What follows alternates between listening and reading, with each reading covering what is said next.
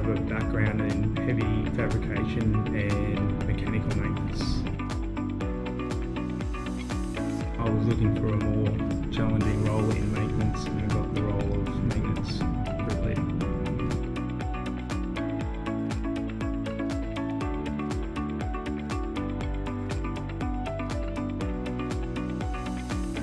Um, my first impressions of Steel Line were how efficient and productive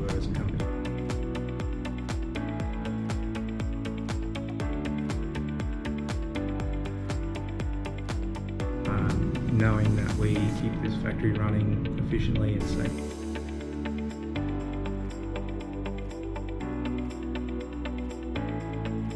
Um, mountain biking and off-road racing.